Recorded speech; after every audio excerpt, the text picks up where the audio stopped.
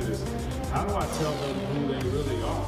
And how do I forge them their identity? How, what is it that I do? How do I communicate consistently The thing we try to do today is we try to share our experiences uh, with the youth, um, you know, with our kids as well. But, but they can hear it. But they can hear it from people who have looked at as positive role models in the community. It's a great honor for me to sit down with some men who are well known for what they've done for fathers and as fathers and what they've done with their own fathers or in some case what they've done without a father